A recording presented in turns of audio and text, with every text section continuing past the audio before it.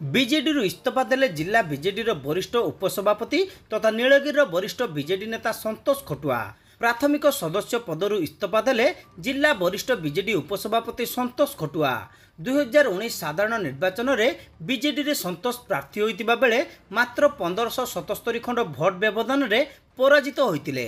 ଦୀର୍ଘ ପାଞ୍ଚ ବର୍ଷ ଧରି ବିଜେଡିର ତୃଣମୂଳ ସ୍ତରରେ ସଂଗଠନକୁ ସୁଦୃଢ଼ କରିଥିବା ବେଳେ ଶେଷ ମୁହୂର୍ତ୍ତରେ ଦଳ ତାଙ୍କୁ ଟିକେଟ୍ ନ ଦେବାରୁ ଏବଂ ବିଜେପିରୁ ଆସି ଦଳରେ ମିଶିଥିବା ସୁକାନ୍ତ ନାୟକଙ୍କୁ ଟିକେଟ୍ ପ୍ରଦାନ କରିବା ପରେ ସେ ସବୁ ପଦରୁ ଇସ୍ତଫା ପ୍ରଦାନ କରିଛନ୍ତି।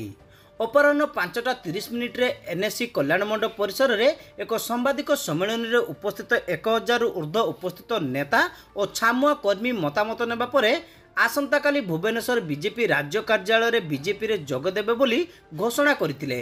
ବିଜେପି ଛାଡ଼ି ବିଜେଡିରେ ସାମିଲ ହୋଇଥିଲେ ନୀଳଗିରି ବିଧାୟକ ସୁକାନ୍ତ କୁମାର ନାୟକ। ବିଜେଡି ସୁପ୍ରିମୋ ନବୀନ ପଟ୍ଟନାୟକ ସୁକାନ୍ତଙ୍କୁ ଟିକଟ ଦେଇଥିବାରୁ ସନ୍ତୋଷ ଖଟୁଆ ଏବଂ ତାଙ୍କ ସମର୍ଥକମାନେ ତୀବ୍ର ଅସନ୍ତୋଷ ପ୍ରକାଶ କରିଥିବା ଦେଖାଦେଇଛି।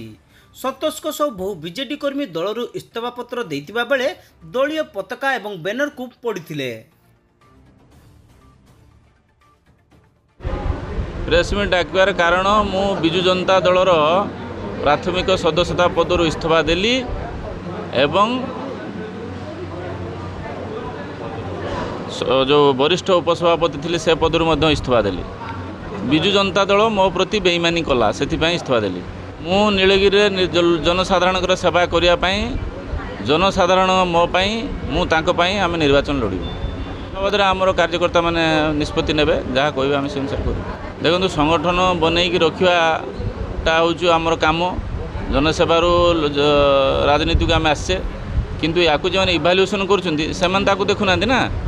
ସେମାନେ ଘର ବସିକି ଏସି ରୁମ୍ ଭିତରେ ବସିକି ଚାରି ପାଞ୍ଚ ଜଣ ଆଇ ଏସ୍ ଅଫିସର ଆଉ ପାଣ୍ଡିଆନ ସେମାନେ ବସିକି ଡିସାଇଡ଼୍ କରୁଛନ୍ତି ଯେ କିଏ ଟିକେଟ୍ ପାଇବ କିଏ ଟିକେଟ୍ ପାଇବନି। କିଏ କହିଲାଣି ମୋର କେବାଟେ ପଇସା ଦେଇକି ଟିକେଟ୍ ପାଇବନି କିଏ କହିଲାଣି ମୋର କାହାକୁ ଧରିକି ଟିକେଟ୍ ପାଇଲେଣି। ଆମେ ତ ଲୋକଙ୍କୁ ଧରିକି ବସିଛେ। ଲୋକଙ୍କୁ ଧରିକି ବସିଛେ ଯଦି ଆମର ଟିକେଟ୍ ନାହିଁ ତାହେଲେ ଲୋକ ତାର ଜବାବ ଦେବେ? ଏ ତ ଦୁଃଖର କଥା। ବେଇମାନିର କଥା। ଜନସାଧାରଣ ତାକୁ ବୁଝୁଛନ୍ତି। ସବୁ ସମସ୍ତ ଚେୟାରମ୍ୟାନ୍ ସମସ୍ତ କାଉନସିଲର ସମସ୍ତ ଭାଇସ୍ ଚେୟାରମ୍ୟାନ୍ ସରପଞ୍ଚ ସମିତି ସଭା ସମସ୍ତେ ରହିବ ସେଟା ଲୋକମାନେ କହୁଛନ୍ତି ଆପଣମାନେ ତାକୁ ଆପଣ ମିଡ଼ିଆ ମାଧ୍ୟମରେ ଲୋକଙ୍କୁ ଜଣାନ୍ତୁ ଯେ ବେଇମାନି ଦଳ କଲା କ'ଣ ପାଇଁ କଲା ବିନା ଦୋଷରେ ଦଳ ବେଇମାନି କରୁଛୁ। ଥରେ ଡାକିକି ବି ପଚାରୁନି। যে তুমি সংগঠন করেছিল তোমার কোণ আশা আছে কোণ আশা আছে ডাকিকি আমি কৌন জগন্নাথঙ্কর দোহাই দিয়ে কৌন তুমি টিকেট মিলব তাপরে টিকেট দেখা বেড়ে শেষ মুহূর্তে টিকেট দেউনা না তো নির্বাচন লড়বি আপনি রণজিৎ তৈরি